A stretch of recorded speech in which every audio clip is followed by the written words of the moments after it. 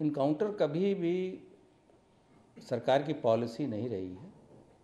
जब इस तरह की जघन्य घटनाएँ होती हैं जहाँ अपराधी या अपराधियों के हौसले इतने बुलंद होते हैं कि गिरफ्तारी के दौरान या गिरफ्तारी के बाद भी वो पुलिस पे अटैक करके भागने की कोशिश करते हैं तो आवश्यक बल उपयोग करके उनको नियंत्रित किया जाता है।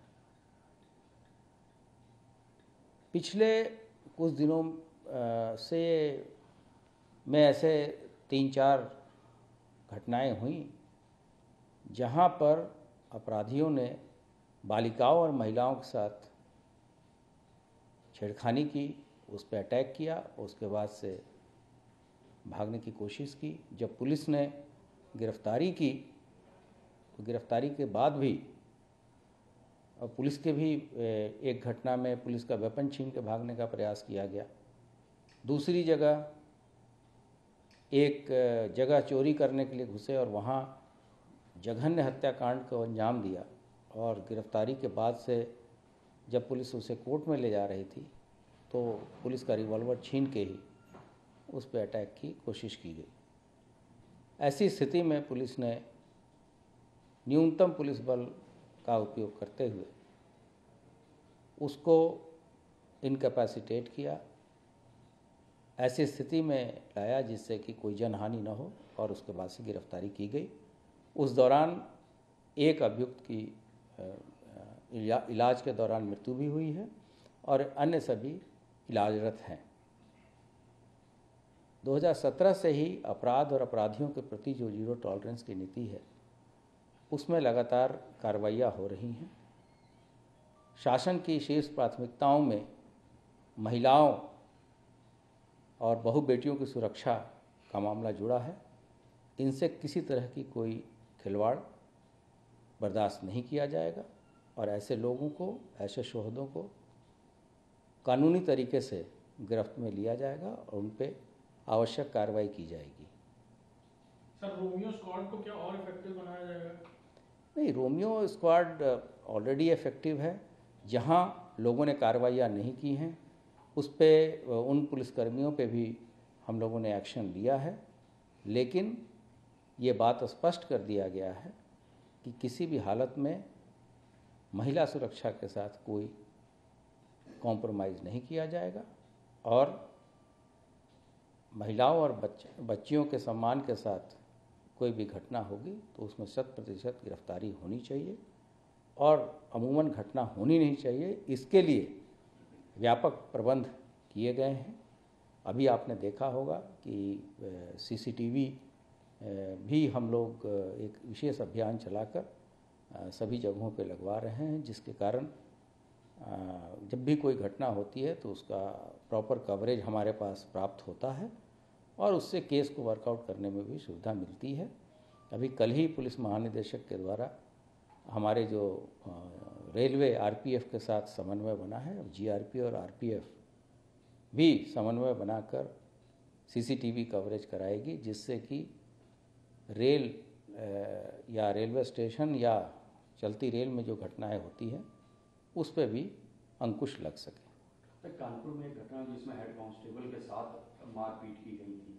और जैसा आप भी बता रहे हैं कि कुछ आरोपियों को जब कोर्ट ले जा रहे हैं या पुलिस कस्टडी में कहीं ले जा रहे हैं, पुलिस के ऊपर हमला कर रहे हैं, क्या ये माना जाए कि कुछ अपराधी मन हुए हैं?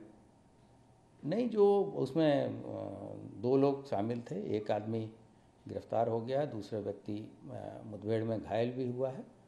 पुलिस वालों पे जो ड्यूटी के दौरान अटैक करते हैं, उसकी गिरफ्तारी का भी प्रक्रिया वही है। जो अमूमन सभी जगह पे सामान्य अपराध होता है, लेकिन पुलिस पे अटैक किया जाना एक ये सामान्य घटना नहीं है।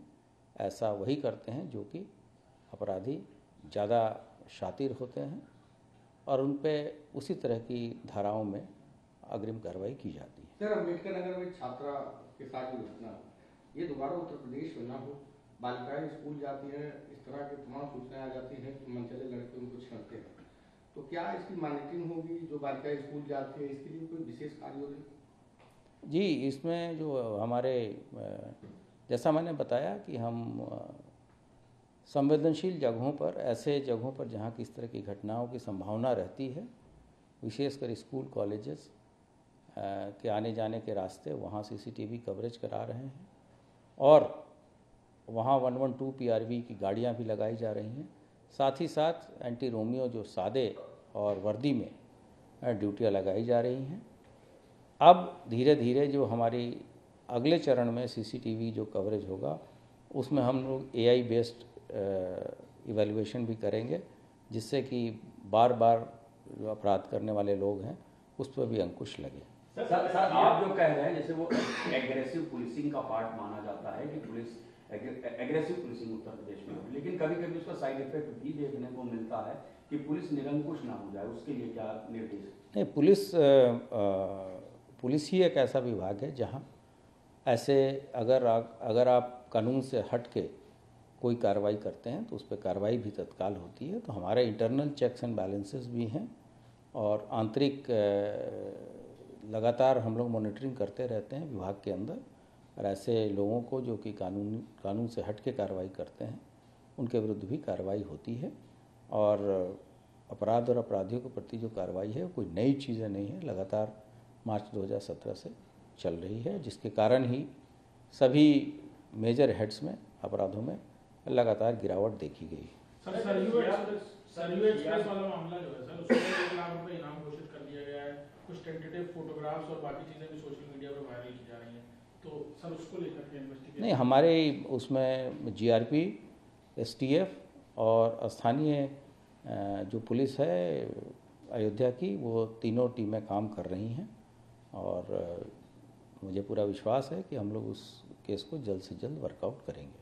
सर जो आईजीआरएस सीएम हेल्पलाइन है वहाँ पे कुछ जिलों के कुछ थानों से ऐसी रिपोर्ट सामने आई कि उसमें जो रिपोर्ट है वो गलत लगाई जाती क्या ऐसी पुलिस कर्मियों के लिए कोई दिशा निर्देश सर? नहीं वो लगातार पुलिस महानिदेशक महोदय के स्तर से इसका रिव्यू होता है।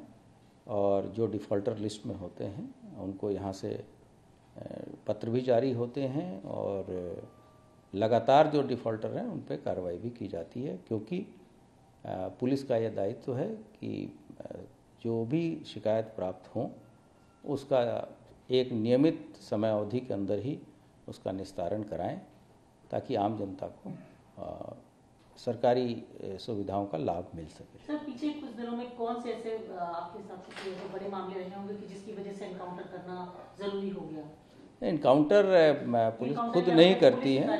लेकिन कभी जब अगर जैसा मैंने पहले भी बताया कि अगर कोई पुलिस पे अटैक करता है या कोई जघन्य अपराध कारित करने की स्थिति में रहता है तब अ, उसको न्यूनतम बल प्रयोग करके पुलिस उसे पकड़ती है।